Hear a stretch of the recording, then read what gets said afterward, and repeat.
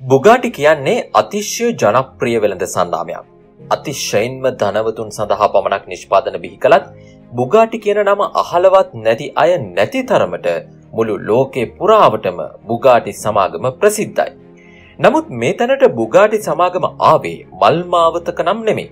අනේක විද පසුබැසීම් දුෂ්කරතා කඩා වැටීම් ඔස්සේ ජයග්‍රහණය කරා ආ ඒ ගමන් මග හරිම්ම අපූරුයි.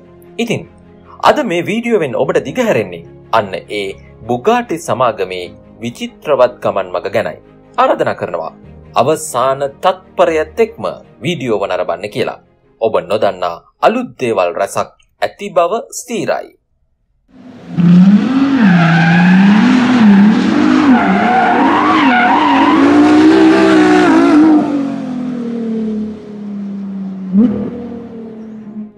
බුගාටි සමාගමේ උපත බුගාටි ව්‍යාපාරය ආරම්භකයා වන්නේ එත්තොරේ බුගාටි ප්‍රංශ ජාතිකයෙකු ඔහු උපතින්ම ධනවතෙක්. එක්ටොරේ කුඩා කාලේ සිටම මෝටරතවලට ඇලුම්කම් දක්වපු කෙනෙක්. තරුණ වියට එළබෙන විටදී ඔහු අතිශය දක්ෂ මෝටරත කාර්මිකයෙකු වුණා. වයස යන්තම් දා හතක් වෙද්දි ඔහු සිහින මැව්වේ මෝටර් රථ පිළිබඳ ඉංජිනේරුවරයෙක් වෙන්නයි. ඔහු ඔහුගේ මංගල මෝටරතය විදියට එන්ජින් දෙකකින් යුත් රෝධ තුනේ මෝටරතයක් නිර්මාණය කරනවා.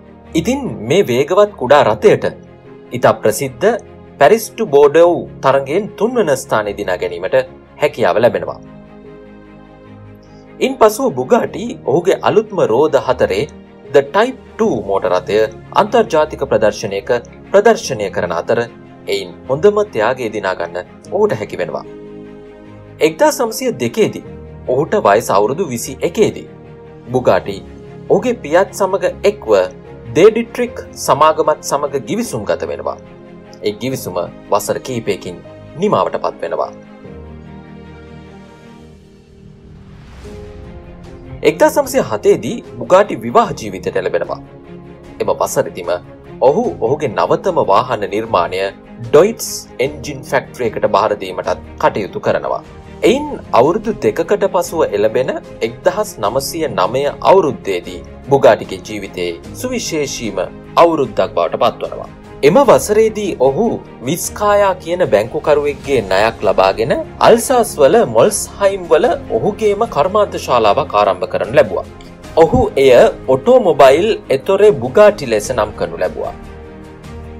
එම වසරේදීම අනාගතයේ බුගාටි සමාගමේ ලොකු කාර්යභාරයක් සිදු කළ ඔහුගේ ආදරණීය පුත්‍රයාගේ උපතත් සිදුවනා.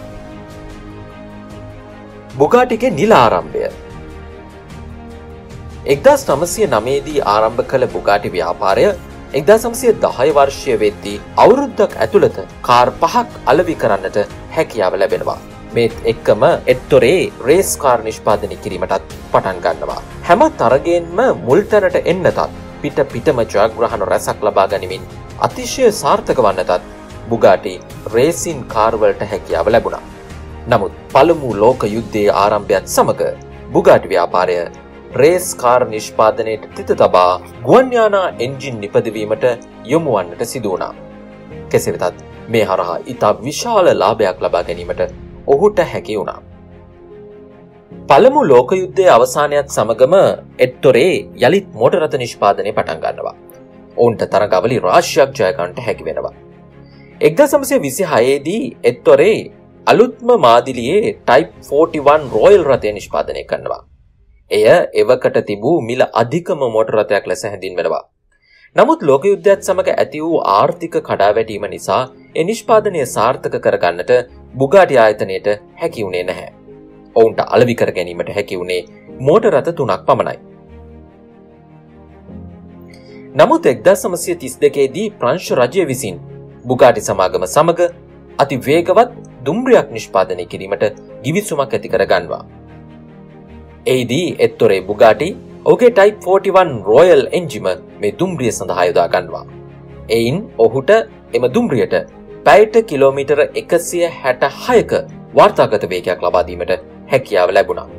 මේ ව්‍යාපෘතිය හරහා කඩා වැටිමින් තිබූ බුගටි ව්‍යාපාරය මූල්‍ය තත්ත්වය යළිත් සවිමත් කර ගැනීමට එට්ටොරේට හැකියාව ලැබුණා. මේ වෙද්දී එට්ටොරේගේ පුත් ජින් තරුණ වියට එළඹ තිබුණා. ඔහුත් පියා වගේම මෝටරත නිෂ්පාදනයට අතිශය කැමැත්තක් හා දක්ෂතාවයක් දැක්වුවා. එක්දා සමසය තිස් දෙකේදී ජීන් බුගාටි විසින් අති සාර්ථක ටයිප් 57 මෝටර් රථය නිර්මාණය කරනු ලැබවා. එක්දා සමසේ තිස් හතරෙදී මෝටර් රථ ප්‍රදර්ශනයේ ප්‍රදර්ශනය කළ එය අති සුකෝකභෝගී මෝටර් රථයක් ලෙස ජනප්‍රිය වූ අතර ඉන්පසු එළඹි වසර පහ තුළ ඒකක දහස්සකට අධික සංඛ්‍යාවක් අලවි කරගන්නට ඔවුන්ට හැකි වුණා. එක්දා සම්සේ තිස් දෙකේදී ජීන් බුකාට විසින් සමාගමේ රේසින් ටීම් එකේ භාරකාරිත්වයද තමන් යටතට ගනු ලැබවා. ෆ්‍රෙන්ච් ග්‍රෑන්් ප්‍රික් සහ ලීමෙන්ස් තරගාවලිය ජයග්‍රහණය කළ 57G මෝටර් රථයද ජීන්ගේ නිර්මාණයක්. නමුත් එක්දා සමසේ තිස් හයේ සිට සමාගමට නර්ක කාලයක් උදා වුණා. ඕගේ මොල්ස්හයිම් ශාකාවේ සේවකින් වැඩවර්ජනයක් පටන් ගත්තා. නමුත් ඒ ඉල්ලීම් වලට එකක නොවී සේවකින් සමග ගැටුණු එට්ටොරේ තමන්ගේ පෞද්ගලික කාර්යාලය ප්‍රංශයට ගෙන ගියා. මේ ගැටලුව තවත් උග්‍ර කරමින් එක්දහස් නමසේ තිස් නමේදී ජීන් බුගාටි ටෙස් ඩ්‍රයිව් එකකදී අවාසනාවන්ත ලෙස හදිසි අනතුරකින් මී යනවා. ජීන් බුගාටිගේ හදිසි මරණය එට්ටොරේ බුගාටිව අතිශ්‍යය කම්පාවට ලක් කරනවා. ඉතින් මේ සිදුවීම් වල කම්පාව මැකීමටත් පෙර දෙවන ලෝක යුද්ධ ආරම්භ වුණා. ජීන් බුගාටිගේ මරණයත් කම්හලේ නොවිසඳුණු සේවක ප්‍රශ්නයන් නිසා බුගාටි සමාගම දිනෙන් දින පරිහානියට ලක් වුණා. එක්දා සමසය හතලිස් හතේදී පෙනහළු රෝගයකින් එට්ටොරේ බුගාටි මිය යනවා. එක්දා සමසික පනස් දෙක වන තෙක් ඒ ක්‍රියාකාරිත්වය නවතින තෙක්ම බුගාටි ව්‍යාපාරය දිගින් දිගටම කඩා වැටුණා. එක්දහස් නමසය පනස් පහේදී එට්ටොරේගේ අනෙක් පුතු වූ රෝලන් බුගාටි ඔගේ නිර්මාණය වුණු ටයිප් 251 වර්ගේ මෝටරතයක් නිෂ්පාදනය කරමින් සමාගම යළි පුනර්ජීවනය කරන්නට උත්සාහ දරුවත් එය සාර්ථකුණේ නැහැ. එක්දා සමසය හැටේදී බුගාටි සමාගම හිස්පැනෝ සොයිසාට විකුණුන් ලැබූ අතර ඔහු කම්හලේ ගුවන්යානා එන්ජින් සහ කොටස් නිෂ්පාදනය පමණක් සිදු කරා. එදා සමසය දහතුනේදී ඉතාලි ව්‍යවසායකෙක් වුණු රොමානෝ අට්ටියෝලි විසින් බුගාටි නමේ අයිතිය මිලට ගනු ලැබවා. ඔහු ඉතාලියේ කැම්පෝ ගලියානාහි කර්මාන්ත ශාලාවක් ඉදිකර බුගාටි ඔටෝමොබයිල් ස්පා ලෙස සමාගමේ නාමය වෙනස් කර සුපර්කාස් නිෂ්පාදනය කිරීමට පටන් ගත්තා. ඒ අනුව එක්දහ සමසය අනූ දෙකේදී ඔවුන්ගේ ප්‍රථම නිෂ්පාදනය වූ බුකාටි EB එකසිය දහය GT ලොවට ඉදිරිපත් කරනු ලැබවා. බුගාටි EB එකසිය දහය GT රථය එතෙක් නිෂ්පාදනය කරන ලද දියුණුතුම මෝට රථය වුණා. නමුත් මුල්ලම ගැටලු නිසා සමගම බංකොලොත් භාවයට පත් වුණා. එනිසා එක්දා සමසයානු පහේදී යළිත් බුගාටි මෙහෙයුම් සම්පූර්ණයෙන්ම නවතා දැමීමට සිදුවනා. අලුගසා දමා නැගිටීම. එක්දා සමසය අනු අටේදී වොක්ස්වගන් සමූහය බුගාටි සමාගම මිලදීකනු ලැබවා. ඔවුන් නැවතත් සමාගමේ මූලස්ථානය ප්‍රංශය මොල්ෂයිම් වලට වෙනස් කර බුකාටි ඔටෝ මොබයිල් ස්පා ලෙසට තිබූ සමාගමේ නාමය බුකාටි ඔටෝ මොබයිල් SAS ලෙස වෙනස් කලා. කෙසෙ වෙතත් බුගාටි කියන කෙටි නාමය දිගටම භාවිත කිරීම ඔවුන් සිදු කලා. ඔවුන් EB එකසිය දහ අටවැනි නව සංකල්ප සැල්සුම් කිරීමට පටන්ගත් අතර දෙදස් පහවසරේ නිෂ්පාදනය කළ බුකාටි වේරෝන් 16.4 රථය සමාගමට ඉහළ ජනප්‍රියත්වයක් සහ සාර්ථකත්වයක් ලාකා කර දුන්නා. දෙදහස් දහතුන වසර වන විට වේරෝන් රථයෙන් ඒකක හාරසය විස්සක් අලවි කර තිබූ අතර හැම ඒකකයක්ම ආසන් වශයෙන් ඩොල මිලියන එකයි දශම හතරකට අලවිවී තිබුණා. දෙදහස් විස්සේ සැප්තැම්බරේදී වොක්සගන් සමාගම සිය බුගාටි සන්නාමය විකිනීමට සූදානම් බවට නිවේදනය නිකුත් කර තිබුණා. ඒ අනුව දෙදස් විසියක ජුලි මාසේදී බුගාඩි ඔටෝමොබයිල් සහ රයිමැක් ඔටෝමොබයිල් ස්පෝට්ස්කා මෙහෙයුම් එක් කර බුගාටි රයිමැක් පිහිටුවන බවට නිවේදනයක් නිකුත් කරනු ලැබවා. අනෙකුත් මොටරත නිෂ්පාදනයෙන් බුගාටි වෙනස් වෙන්නේ කොහොමද. අද වෙද්දි බුගාටි කියන්නේ වර්ල්ඩ් ක්ලාස් මෝටරත හදන සුවිශේෂී සමාගමක්. ඔවුන්ගේ අනෙක් තනකකරුවන් සමඟ සසදත්දී බුගාටි මෝටරත හැම විටම පියවරක් ඉදිරියෙන් සිටවා. ඒ ඇත්තටම අනෙක් සමාගම්වලට වඩා බුගාටි සමාගමේ තිබෙන විශේෂත්වය නිසයි. බුගාටි මෝටරත ඉහළම ප්‍රමිතියකින් යුක්තයි. ඔබ දන්නවා බොහෝ මෝටරත නිෂ්පාදනය සිදු කෙරෙන්නේ රෝබෝ තාක්ෂණය ඒ සඳහා මිනිස් මැදිහත්වීම සිදුවෙන්නේ ඉතාම අඩුවෙන්. නමුත් බුගාටි එන්ජිම හැර අනෙක් කොටස් සියල්ලම සාදන්නේ මිනිස්සත්වලින්. මේ ඇතුළත් කොටස් එක්දස් අටසීයම නිපදවන්නේ මිනිස්ශ්‍රමයෙන්. එනිසා එක් මෝටරතයක් නිපදවීමට පුරා මාස නමයක කාලයක් වැය කෙරෙනවා. දැඩි අධීක්ෂණයට යටත්වමින් නිපදවන නිසා අනෙකුත් මෝටරත සමාගම්වලට වඩා තමන්ගේ නිෂ්පාදන ඉතාම ඉහළ ප්‍රමතියකට නිකුත් කිරීමට බුගාටි සමාගමට හැකි වෙලා තිබෙනවා. සාමාන්‍යෙන් ඔබ වෙනත් සමාගමකින් මෝටරතයක් මිලට ගන්නවා නම් ඒ සමාගම විසින් තීරණය කර ඇති සීමිත වර්ණ කිහිපයකින් එකක් තෝරා ගැනීමට ඔබට සිදුවෙනවා. නමුත් බුගාටි සමාගමේ මෝටරතයක් මිලදී ගැනීමේදී ඔබට තමන්ට කැමති ආකාරයට වර්ණය තෝරාගන්න වර්ණ රැසකින් යුක්ත වර්ණාවලියක් ඔවුන් ලබා දෙනවා. උදාහරණයක් ලෙස බුගාටි කයිරන් එකක් මිලදී ගන්නා පාරිභෝගිකයට බඳ සඳහා වර්ණ 31ක්, කාපට් වර්ණ 18ක්, ලෙද සඳහා වර්ණ 23ක්, සීට් කවර සඳහා වර්ණ 8ක් වගේම සීට් බෙල්ට් සඳහා වර්ණ 11කින් යුක්ත කලර් පැලට් එකක් ඔවුන් ලබා දෙනවා. ඒ වගේම බුගාටි මෝටර් රථ සඳහා යොදා ගැනෙන්නේ තත්ත්වයෙන් ඉතා උසස් ද්‍රව්‍ය පමණයි. මෙහි බඳ සඳහා යොදාගන්නේ කාබන් ෆයිබර් වන අතර මිල අධික නැපාල් ලෙද පැස්බ සම් වගේම රත්තරන් වගේ ඉතා මිල අධික ලෝහ පවා බුගාටි මෝටර් රථ සැකසීමේදී යොදා ගන්නවා.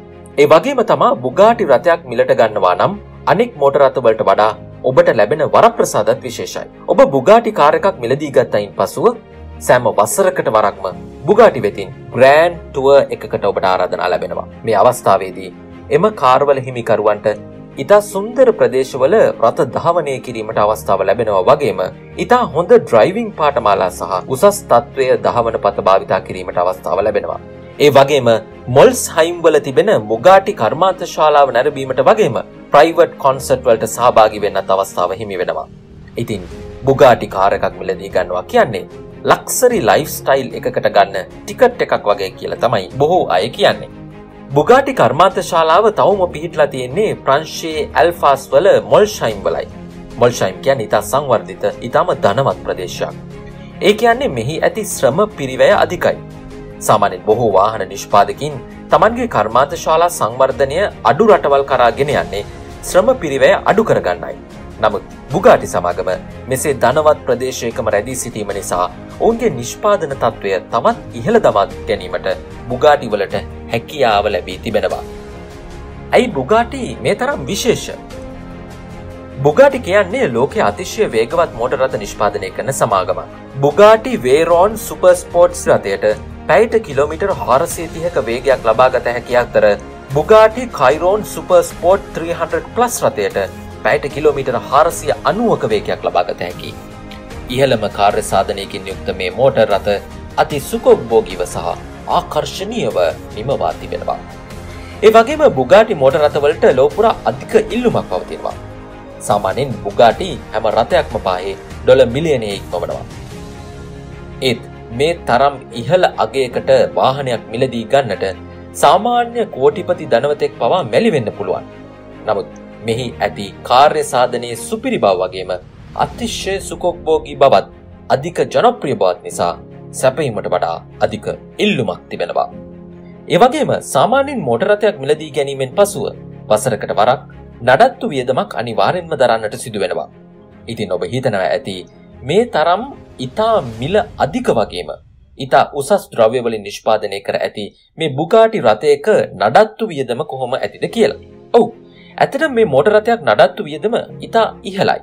උදාහරණයක් විදියට කිව්වොත් බුගාටි මෝටර් රථයක ඔයිල් මාළු කිරීමට විතරක් ඩොල විසි පන්දහසක පමණ මුදලක් වැය වෙනවා. ටය සෙට් එකක් ඩොල තිස්සට දහසක් පමණ වනවා. ඉතින් බුගාටි කාරකක් මිලදී ගන්නවා වගේම ඒ දිගින් දිගටම පාවිච්චි කරන්නත් ඔබ සුපිරි ධනවතෙක් වන්නටම අවශ්‍යයි. ඔබේ ධනය පිටතට කියාපාන්න සුපිරිම බහන්ඩයක් තමයි උගාටි රථයක් කියල කියන්නේ. බුගාටි කියන්නේ වර්ල්ඩ් ක්ලාස් බ්‍රන්් එකක්. ඔබ ටොයෝටා හොන්ඩා නිසාන් වගේ වාහන සන්නාමයකින් මෝටරතයක් මිල්ට ගත්තොත් ඇත්තටම සමහර වාහන ඉතා හොඳ මට්ටමේ තිබෙන්න්නත් පුළුවන් වගේම තවත් සමහර ඒවා මුල සිටම යම් යම් ගැටලු පැන්නගින්නත් පුළුවන්. එසේ වෙන්නේ ඒවා රොබෝ තාක්ෂණයෙන් ඉතා විශාල වශයෙන් නිර්මාණය කරන්න නිසා. නමුත් ඔබ බුගාටි රථයක් මිලදී ගන්නවා නම් ඒ ගැන වදවෙන්න දෙයක් අවශ්‍යම නැහැ. මොකද බුගාටි වාහනේ සෑම කොටසක්ම වරක් දෙවරක් නොවේ කිහිප වරක්ම දැඩි පරීක්ෂාවට ලක් කරනවා. ඒ නිසා මොටරතේ සියලුම අංගයන් නියමිත ලෙස ක්‍රියාත්මක වනවා වගේම කිසිදු ගැටලුවක් හටගන්නේ නෑ. ඒ නිසයි බුගාටි සමාගමට ඉහළ සන්නාම විශ්වාසයක් ලබාගෙන මෝටර් රථ කර්මාන්තයේ ඉහළින්ම වැජබෙන්නට හැකියාවක් ලැබී තිබෙන්නේ. ඒ වගේමයි හොන්ඩා ටොයෝටා වැනි කම්පැනි වලින් මෝටර් රථ විශාල සංඛ්‍යාවක් මාස් පතන් නිකුත් වෙනවා. නමුත් ඔබ දන්නවද? බුගාටි මෝටර් රථ නිපද වෙන්නේ ඊටාම සීමිත සංඛ්‍යාවක් පමණක් බව. පසුගිය වසර 10 කාලය තුල බුගාටි වේරෝන් රථ නිෂ්පාදනය කර ඇත්තේ 450ක් පමණ වන අතර බුගාටි කයිරෝන් රථයද දශකයකට 500ක් පමණ නිපදවීමට බුගාටි සමාගම තීරණය කර තිබෙනවා. ඒ කියන්නේ වසරකට සාමාන්‍යයෙන් එක් මාදිලියකින් නිකුත් කරන්නේ නිෂ්පාදන 50ක වගේ ප්‍රමාණයක් පමණයි. ඉතින් මේ හැම දෙයක් ගැනම සලකලා බලද්දී බුගාටි රථයක අලවි වන මේ මිල ඇත්තටම සාධාරණයි. බුගාටි සමාගමේ වර්තමානය සහ අනාගතය.